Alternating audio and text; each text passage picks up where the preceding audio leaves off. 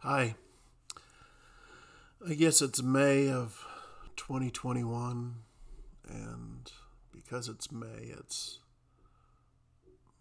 myalgic encephalomyelitis month or something like that. It's the month that everybody who has chronic fatigue syndrome or whatever comes out of the woodwork.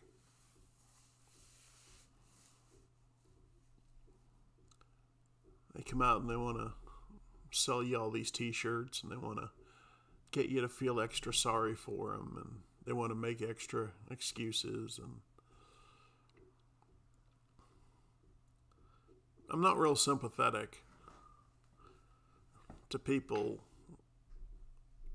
with certain challenges who make a lot of excuses. It's kind of like somebody that's blind who wants to complain. You got to deal with it. You know, whatever cards you're handed, those are the cards you got to play. And you got to find a way to overcome the challenge.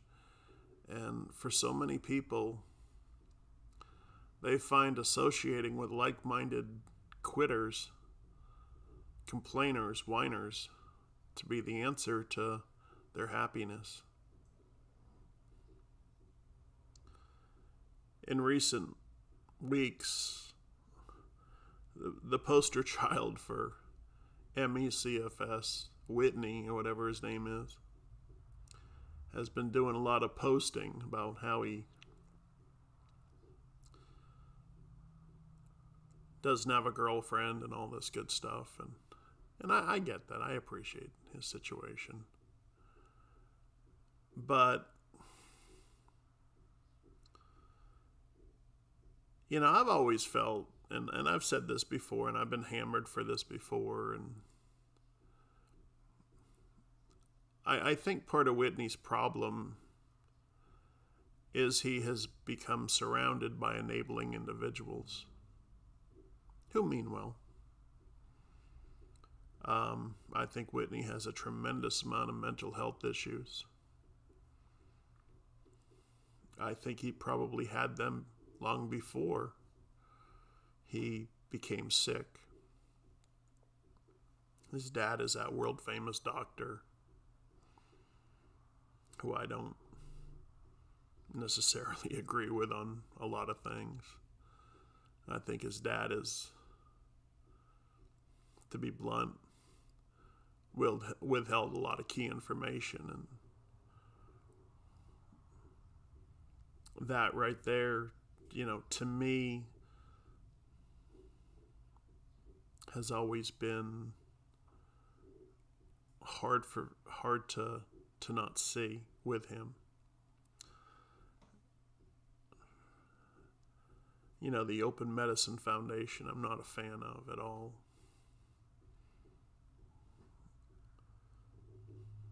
I'm not a I'm not a fan of this ME Action and all that stuff.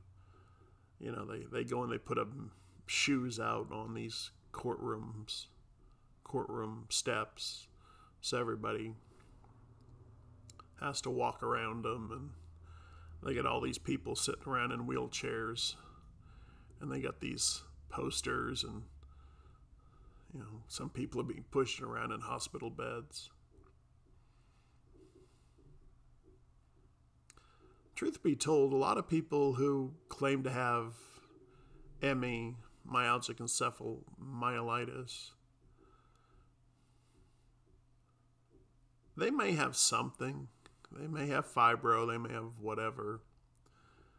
But a lot of them have what the doctors say. They have more of a mental health condition going on than they do a physical one. And they have really caused this condition to become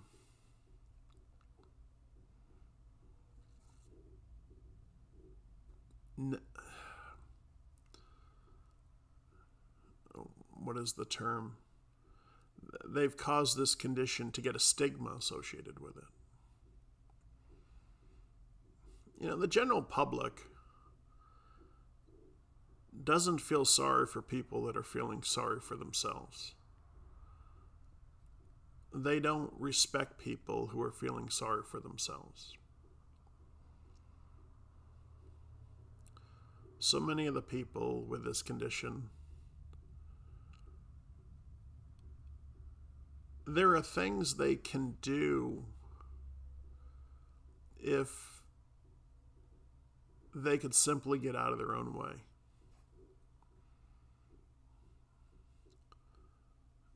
Today I'm dealing with a lot of brain fog and a lot of issues. You know, like I've said in other videos, my condition's a little unique, a little different. Um,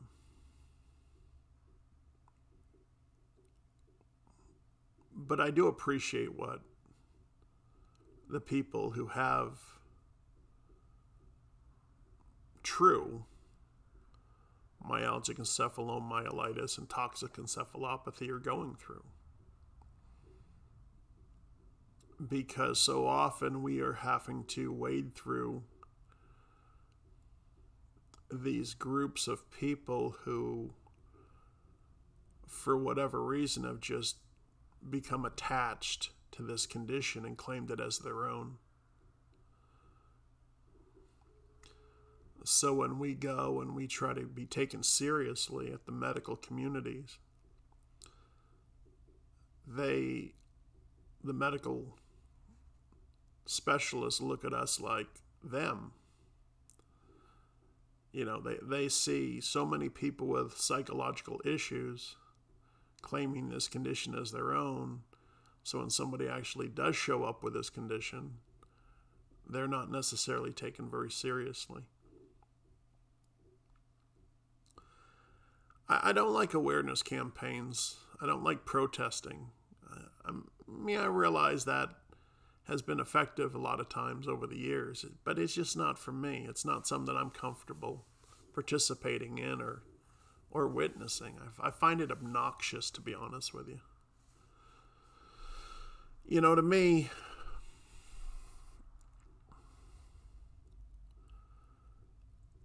a logical conversation should get results. And if you're not getting the results you need from a logical conversation, then you're not having a very good conversation and you need to reword your, your presentation to people. But to go out and protest and just be an obnoxious person you know, telling the world how fatigued you are and telling the world how unfair this condition is to have and how this is the worst condition imaginable and, you know, yourself writing yourself prescriptions for wheelchairs and you're, you know, wearing neck braces and you make us look ridiculous. And the reason why the medical community doesn't take us seriously is because we look absolutely obnoxious when we present ourselves to the public.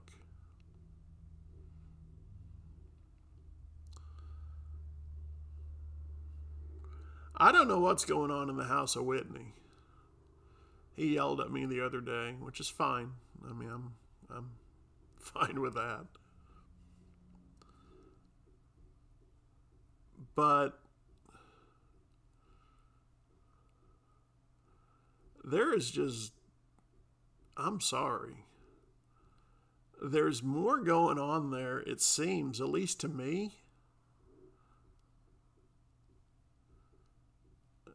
than is being led on. I mean, I've, I've honestly always felt there is a serious problem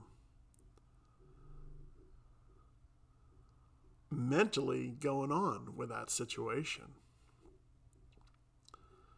I've always wondered if he was taken out of that environment, if he wouldn't show some type, if they couldn't figure out a way to show him better improvement. You know, I'm sure his, I, know his family loves him. Don't get me wrong. But his family enables him. His family has become this enabling mechanism. And when you're an individual with dependency tendencies, sometimes those enabling actions can be extremely destructive internally, psychologically. I realize there have been words spoken that he's been tested and tested for genetic challenges and and I'm not saying there's not something that way going on but I just I don't know I just don't know and I don't know what the kid's going to do after his parents die. I mean, they're both in their 80s now, I believe. And, you know, what's he going to do? Go live with his sister? Ironically, as his parents have gotten older, he's somehow gotten somewhat better. You know, it's funny how that sort of works. When they're not super old, you're really dependent, but then as they age, you start to maybe in the back of your mind realize, what am I going to do when they're not here to, to take care of me? And is that playing some type of role in his improvement? Or is his brain just healing somewhat? I do think that he has some type of medical condition.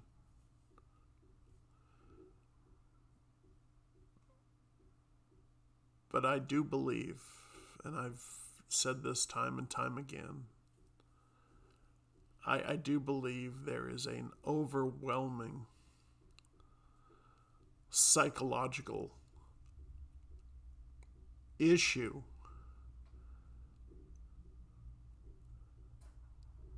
that has never really been been looked into and and I'm very sensitive to that allegation because it's been made against me numerous times. And I, I don't, you know, I don't want to sit here and pick on the kid. He's not a kid anymore. He's in his 30s. But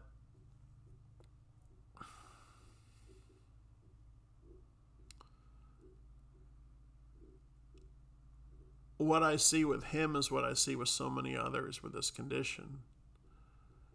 They have just become surrounded by enabling individuals. And as a result, it has allowed them to become this invalid in a way. We as individuals have got to learn and, and develop a fight within us. The person who needs to look out for you is you. You got to find a way to stand up. You got to find a way to overcome the challenge.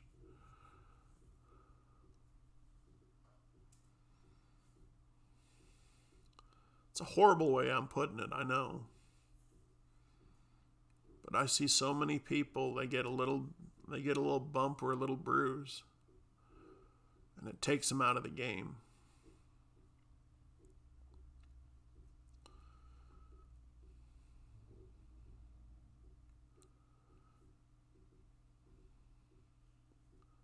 I know this video isn't making a great deal of sense because it's just, it's one of those days and I'm not making a lot of sense.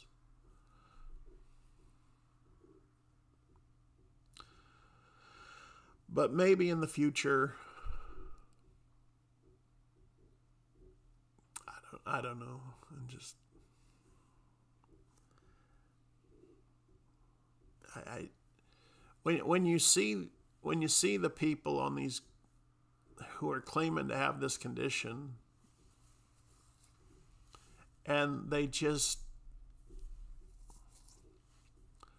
their focus is pain medication. Their focus is pain management. Their focus is this. Their focus is that. Their focus is poor me. Their focus is negativity. Their focus is I can't. Their focus is fatigue. Their focus is everything. But their focus isn't to fight. Their focus isn't to overcome. Their focus is to surround themselves with people who enable them. Surround themselves with people who tell them what they want to hear rather than telling them what they need to hear. You know, a lot of people with serious physical challenges, what they need to hear is, is tough, it's hard you know, during physical therapy, some of the, the best therapists are some of the people who you are not going to like a lot because they're not going to put up with your garbage. And your garbage is, is a lack of will to fight. And, you know, people know about my condition. I had overcome paralysis. And, you know, the biggest challenge for a lot of people is self imposed. I, I don't want this video to sound like I'm picking on Whitney. I want to see Whitney do well. I want to see him thrive. I want to see him figure things out. Just like I want to see all of you guys benefit from overcoming the challenge.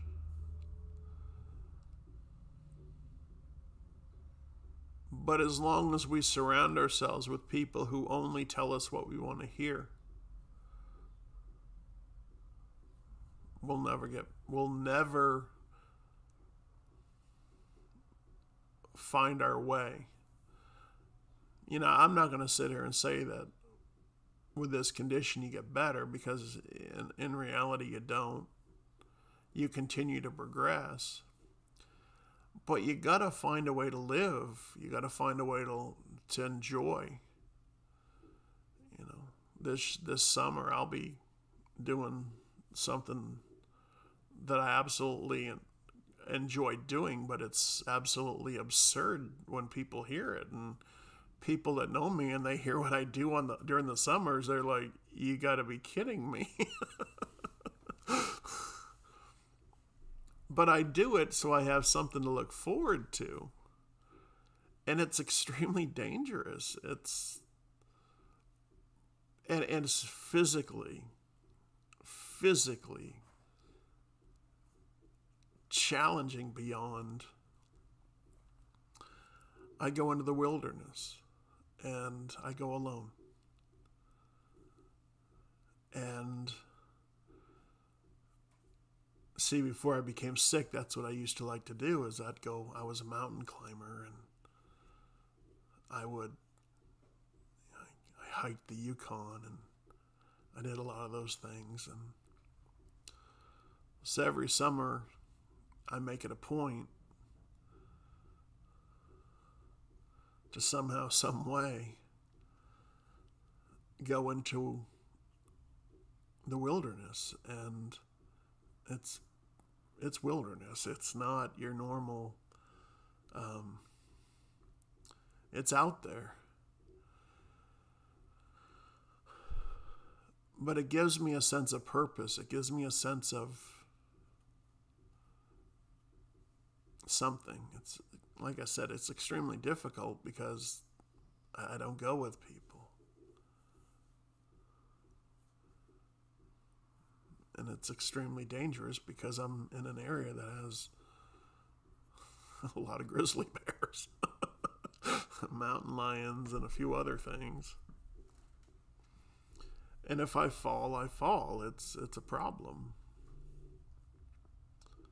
But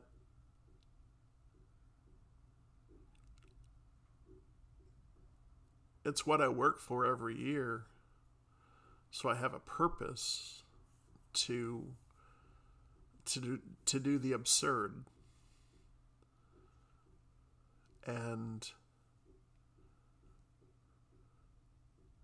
it clears your mind it, it shows that you still have some control over your situation even though it's physically incredibly difficult. One of my goals is to is to um, canoe the Yukon River and to canoe the Mississippi from the headwaters down. I don't know if I'll ever be able to achieve that. But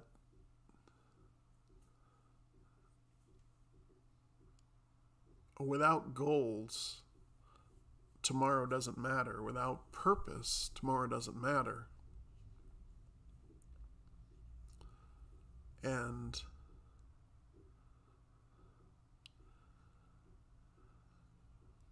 with that, I'll call this one. Use that internal fire to find a way to overcome whatever challenge life throws at you. It's not easy. The cards we're handed are not good cards. But if we play the cards we're handed well, we can stick around. We can stay in the game a lot longer than people might give us, might expect us to.